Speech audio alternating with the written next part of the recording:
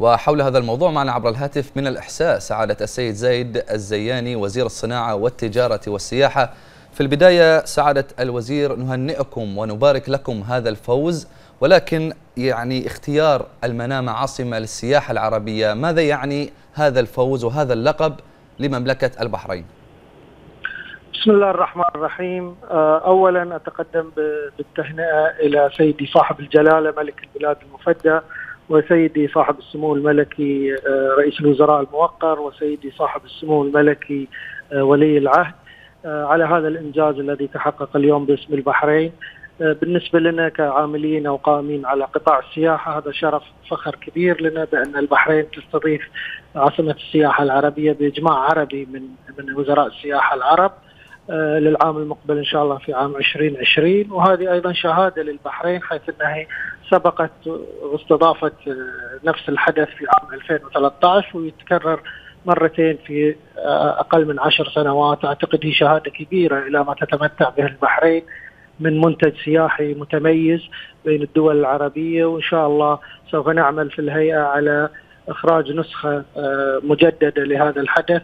في 2020 باحسن ما كان عليه الحال في 2013. نعم سعادة الوزير لكن ما هي المعايير التي تمت على اساسها اختيار المنامة عاصمة للسياحة العربية؟ المعايير هي مقررة من من المجلس الوزاري للسياحة لوزراء السياحة العرب تشمل عدة بنود منها في مقدمتها طبعا الأمن السياحي والأمن الوطني والحمد لله البحرين تتمتع في هذا المجال بتميز عالي. ويتبع أمور مثل البنية التحتية في السياحة تنوع المنتج السياحي سهولة الوصول والدخول البلاد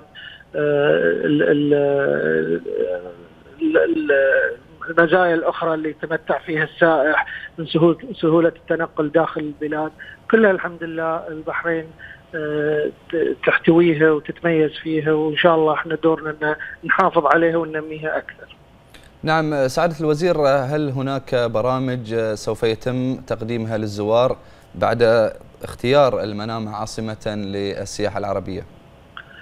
طبعا راح تكون رزنامة فعاليات متكاملة على مدى العام القادم سوف يتم عن الإعلان عنها رسميا بحضور المنظمة العربية للسياحة في مملكة البحرين في بداية العام القادم إن شاء الله وتتميز بفعاليات متنوعة بعضها ترفيهية وبعضها اقتصادية ولكن كلها تصب في نهاية الأمر في المنتج السياحي وتطوير البيئة السياحية.